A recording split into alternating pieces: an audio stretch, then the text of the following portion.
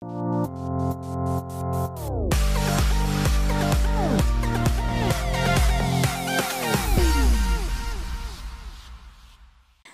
बाहुबली का हिस्सा रही एक्ट्रेस अनुष्का शेट्टी इन दिनों चर्चा में है दरअसल खबर है कि ओवरवेट होने की वजह से वो फिल्म साहो से बाहर हो गई हैं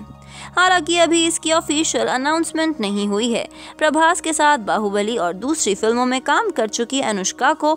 एक फिल्म से कोई खास फर्क नहीं पड़ता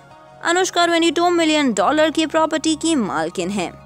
हैदराबाद के पौश इलाके जुबली हिल्स में स्थित वुड्स अपार्टमेंट के सिक्स फ्लोर पर अनुष्का का आलीशान घर है अनुष्का फिलहाल एक फिल्म के लिए करीब चार से पाँच करोड़ रुपए चार्ज करती हैं। लग्जरी कारों की शौकीन अनुष्का के पास कई बड़े ब्रांड्स की कारें हैं फिलहाल उनके पास बी एम डब्ल्यू सिक्स और ई ए सिक्स और ई क्यू फाइव और टोयोटा कोरोला जैसी लग्जरी कार्स हैं bureau report Indian film history for more updates Please subscribe Indian Film History.